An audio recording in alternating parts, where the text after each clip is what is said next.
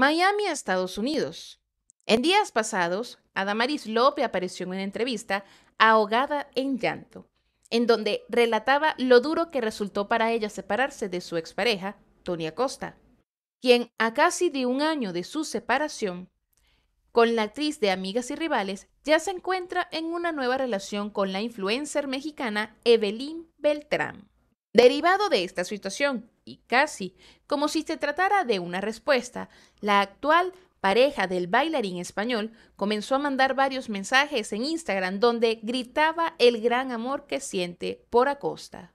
Gracias por estar conmigo cuando sentía que todo mi mundo se había ido para abajo.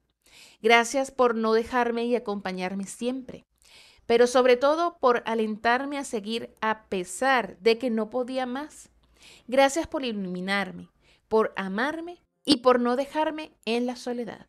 Pero los mensajes no terminaron allí, ya que rato después hizo una nueva publicación en donde destacó que Tony, a pesar de todo, es feliz. A veces no nos explicamos el porqué de las cosas.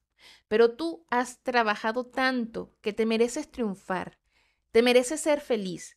Tus planes son grandes, tú eres grande. Así que no olvides tu fortaleza y no pierdas la fe. Comenta y decrétalo. Posteó la influencer.